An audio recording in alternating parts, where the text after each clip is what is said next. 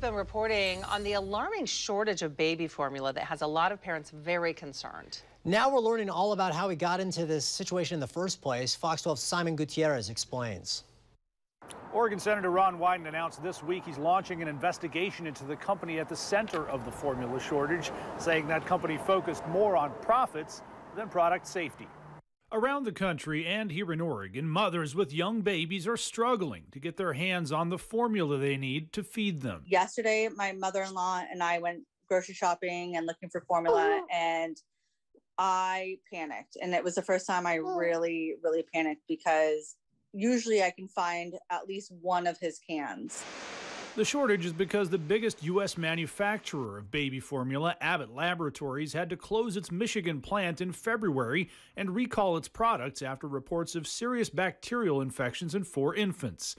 Senator Ron Wyden, who is chair of the Senate Finance Committee, has launched an investigation into Abbott's business practices, saying the company spent billions on stock buybacks to boost the company's share price instead of making necessary repairs at its manufacturing plant. Up until this point, the plant has not been able to be reopened, and Abbott only has about two manufacturing plants in America. So when you shut down one plant, that's going to create a supply issue. Tiari Sana is director of the Oregon WIC program. Her office has been flooded with calls from concerned moms. A lot of tears, a lot of tears of scared moms. Abbott has agreed to take corrective action, but will have to meet FDA food safety standards before it can resume production. The company has said it would take a minimum of six to eight weeks for new cans of formula to be delivered to stores. There's not much we can do other than try to help them figure out what stores have the formula available. So we're running reports and things and sending it to our local WIC clinics so that those uh, WIC clinics know what formulas are available in each store. Now, the WIC program has an exclusive agreement with Abbott, which means WIC participants can only buy Abbott products like Similac.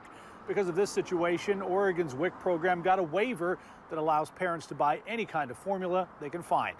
I'm Simon Gutierrez, Fox 12 Oregon. And there is some relief that could arrive soon for families. The first flights of baby formula to the U.S. are expected to arrive stateside within days. Federal officials are putting the last touches on plans to ship supply from Europe as part of President Biden's invoking the Defense Production Act. The Departments of Agriculture and Health and Human Services are also seeking commercial jets to fly and supply from overseas. Well, the